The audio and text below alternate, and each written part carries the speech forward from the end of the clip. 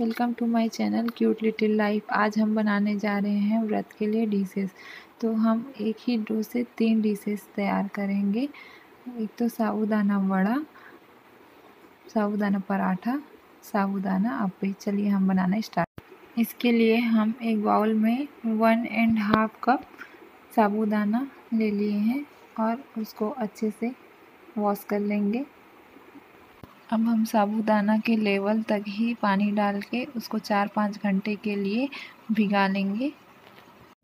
अब हमारा साबूदाना भींग अच्छे से रेडी है, इसमें कोई एक्स्ट्रा पानी नहीं है। अब मैं इसमें तीन उबला आलू ऐड कर रही हूँ। मैं इस आलू को कद्दूकस करके ऐड कर रही हूँ। आप चाहें तो इसको मैश करके भी ले सकते हैं।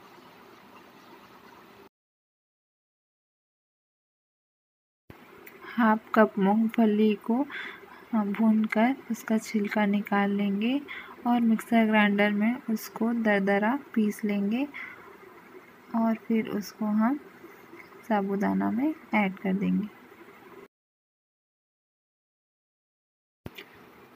अब हम इसमें ऐड करेंगे दो बारीक कटे हुए हरी मिर्च, दो चम्मच करी पत्ता बारीक कटा हुआ दो चम्मच हरा धनिया बारीक कटा हुआ।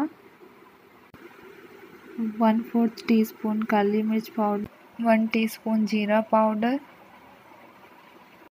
वन फोर्थ टी स्पून हल्दी पाउडर, स्वादानुसार सेंधा नमक, हाफ़ इंच कद्दूकस किया हुआ अदरक,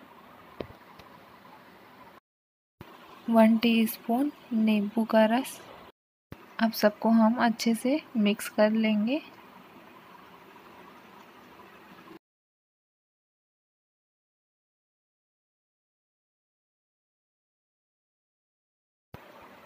अब हमने सबको अच्छे से मिक्स कर लिया है। अब हम हाथों में थोड़ा सा पानी लेंगे और टिक्की का शेप देते हुए बड़ा बना लेंगे।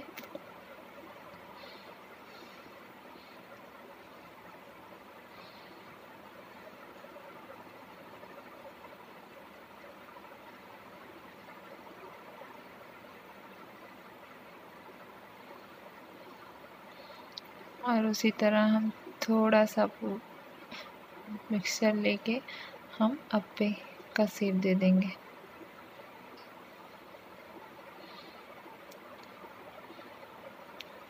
अब हम बड़े और अप्पे बनाकर रेडी कर लिए हैं, अब हम इसको फ्राई करते हैं।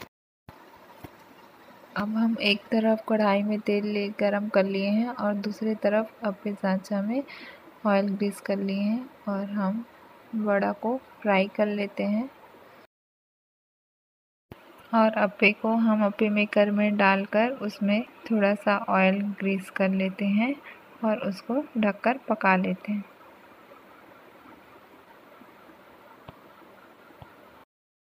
अब मैं पराठे के लिए तवा गरम करने के लिए रख रही हूँ। और जब तक तवा गरम हो रहा है, मैं अप्पे और वड़ा को पलट पलट कर सेक लेती हूँ।